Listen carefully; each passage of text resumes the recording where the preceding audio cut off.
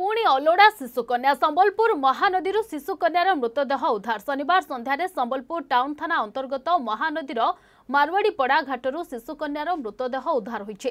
ସ୍ଥାନୀୟ ଲୋକେ ମୃତଦେହ ଭାସୁଥିବା ଦେଖି ପୋଲିସକୁ ଖବର ଦେଇଥିଲେ। ଏହାପରେ ଟାଉନ୍ ଥାନା ପୋଲିସ ପହଞ୍ଚି ମୃତଦେହ ଜବତ କରିଛି। ଶିଶୁଟିର ପରିଚୟ ଜଣାପଡ଼ିନି। ଟାଉନ୍ ଥାନା ପୋଲିସ ତଦନ୍ତ ଆରମ୍ଭ କରିଛି।